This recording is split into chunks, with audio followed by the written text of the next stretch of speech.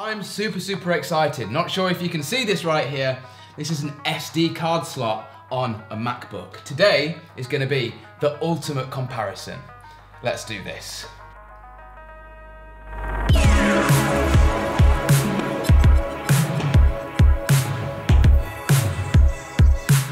Oh my god, I'm, I'm actually so impressed with the M1 Mac.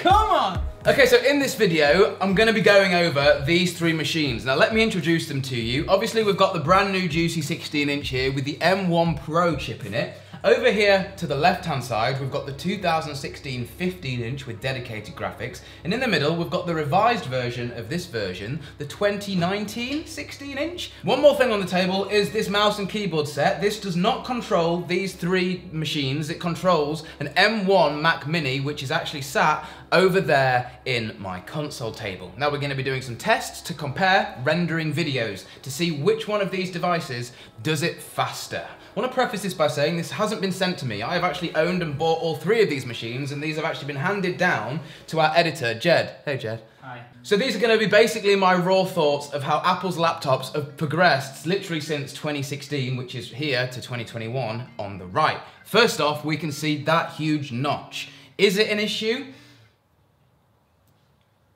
Don't know, is it? I would definitely choose the one with the notch just because I like the fact that the screen goes all the way up to the top bezel. And it's actually really satisfying to me that the bezel on the side is the exact same thickness as the bezel on the top. And that isn't the case here, as you can see on the 16 inch or the 15 inch back from 2016 feels much heavier and it feels thicker and that's because it is. If I'm actually to run my finger across these three, these three laptops, you can see that there's a bit of a height increase here between the 15. We've got an even greater bump here between the 2019 and the 2021, which shows that Apple are really putting substance over Style. style. This is super, super thin. So is the touch bar as well. Now, obviously we've got a raised touch bar here. It looks like the actual keycaps itself, but then We've got no touch bar whatsoever. You know what? I'm not gonna be one of those YouTubers that goes ahead and says, I'm so happy they've got rid of the touch bar because I didn't not like it, but I also didn't think it was that useful. It gets slightly mushier with each generation. The 2016 is definitely the worst. It's really, really cardboardy and clicky. Gets much better with the 19 and then the 2021 is just the icing on the cake. However, it's not mechanical like, which is what it says on Apple's website. Slightly misleading. It's a nice, mushy laptop keyboard, and we'll leave it at that. The only other thing is, it has a black background, which makes this entire section of the laptop, I think in my personal opinion, look slightly more professional than these two predecessors. Now on this new one, it starts to get pretty spicy because we've got this SD card reader right here. Something that I use and I think a lot of other professionals use in their daily lives. No matter what they're doing, whether it's recording video, recording audio, taking pictures, yada, yada, yada, you've always got stuff to import to one of these devices. This is a welcome change. Thank you, Apple. One thing I am sort of happy that they've brought back, but I'm also slightly disappointed with at the same time is this HDMI port. So obviously there's a lot of talk, and we'll get onto this later, about the new laptop having a ProMotion display which goes up to 120 hertz. Now unfortunately, it's not a 2.1 port, it's only a 2.0 port, which means you're capped at 4K 60, and that's the same whether you're using like a Thunderbolt dock or something similar like that. You've got external displays, they're gonna be running at 60 hertz, not 120. Real, real big shame in my opinion. And then obviously we've got the return of MagSafe, this port right here. Now this is Apple's sort of magnetic charger, so it means that if you kick it, it will automatically come out and not pull the laptop with it, smash it to pieces. If you're in a pinch and you want to use USB to charge, you can do. It's got power delivery built in on all of the ports. Really nice to see. The only thing that's physically different on these laptops over the three models is the fingerprint reader, which is something you're going to use every time you log on. It's now a button that actually doesn't press in, but it has a circle or a ring around the middle, which obviously reads your fingerprint, much different to the square design we had on here. Notch, the mouse, it runs through here. A lot of people were asking, what, what, what's it gonna do? Is it just gonna bounce off it? Can you even go into it? I think the display actually just goes underneath the, the actual whatever the hell's going on in there, not Face ID. It's just a 1080p camera, as to which you can see the quality uh, on screen now. Hello, this is the new MacBook. Obviously, because it has Apple Silicon in it, it's doing all of its processing. So it should look significantly better than this laptop, even though it's the same sensor, it's just not got the same processing in it that Apple's silicon chips can do. And then here, we've our laptop from 2016. Now we can also, whilst we're doing this, do a microphone test. 2016. The quick brown fox jumped over the lazy dog. 2019. The quick brown fox jumped over the lazy dog.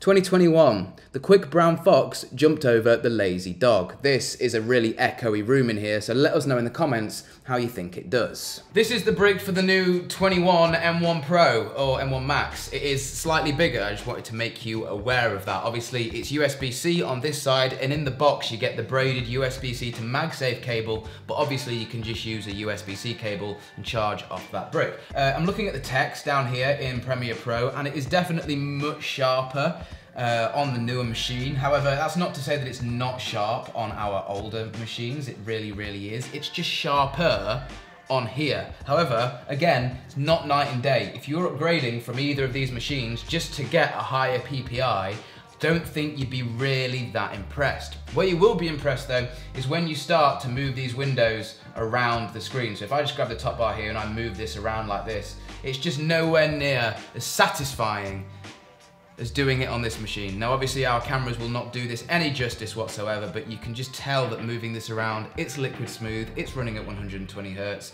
no, no questions about it. It's a nicer experience. Even just moving the mouse cursor here, it's nicer. It's almost easier to position it on the newer laptop.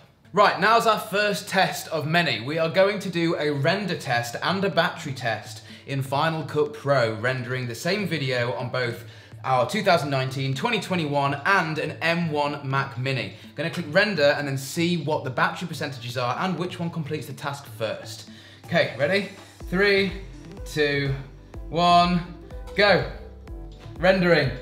New one's on 19, old one's on 16. Ooh! 21. 43. Oh!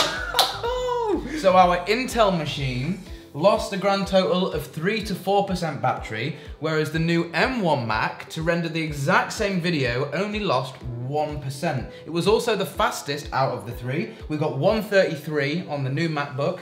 On the M1 Mac Mini, we got 143, so an extra 10 seconds. And then on our mid machine here, which is the i9 Intel, this took 1 minute 37 four seconds more than our M1 Mac, which proves that our new machine is more powerful than the i9 and more energy efficient. Okay, now the real killer though is gonna be a render test in Premiere Pro. This is a full-on eight minute project of a video that's upcoming here on TechFlow about some awesome, really cheap CCTV stuff. Now, we're gonna be able to open this project on all three of our machines right here. So even on our 2016, the exact same project and it's open on the M1 Mac 2. Three, two, one, and we're off. We're we off. are off. Oh my God, I'm, I'm actually so impressed with the M1 Mac. Jeez, that's on 10.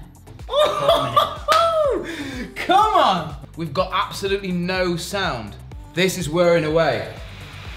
Okay, so these results are quite pleasantly surprising. So obviously the, the new laptop, the new M1 laptop with the Pro chip in it obviously takes the cake here. We've got a render time of 419 versus 618 on the M1 Mac Mini 510 on the old i9 MacBook Pro, and then 749 on our 2016 model.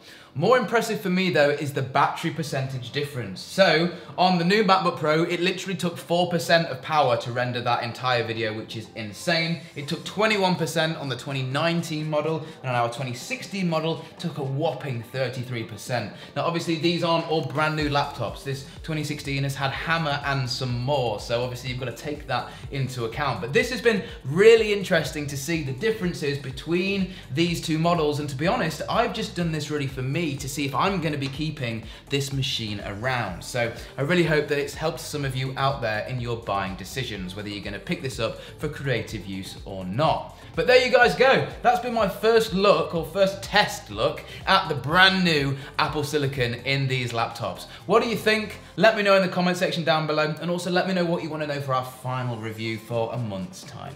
But for now guys, my name's been Alex. This has been TechFlow. We'll see you in the next one. Peace.